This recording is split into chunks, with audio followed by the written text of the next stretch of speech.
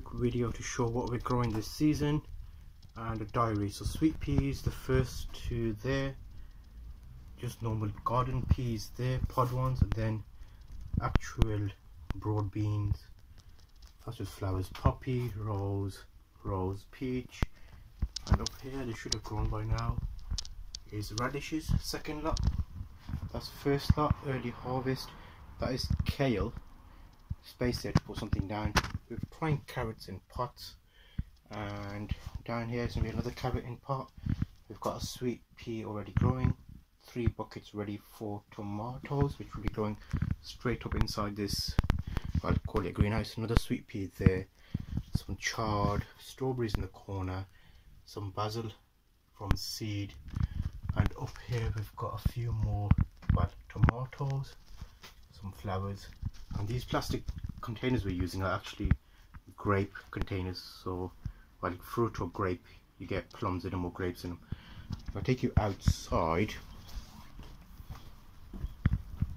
that's potatoes, early potatoes, just with a bit of covering on. That is a camellia. That's a lavender. We've had to get rid of the old one because it got too uh, woody, and this is a cut off of the old one. That's some type of flower. That's rose. Azalea is not looking great. Rose. That is japonica something. Red red leaves. Uh, rose, a lot better. On well, when you have a dog, you have to cover your beds. It's a good trick to cover your beds so he doesn't dig them. As you can see back there. Come here. Come.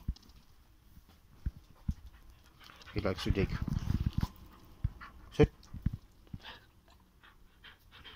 Yes, you like to dig, don't you? Going around, hammocks up, decent weather.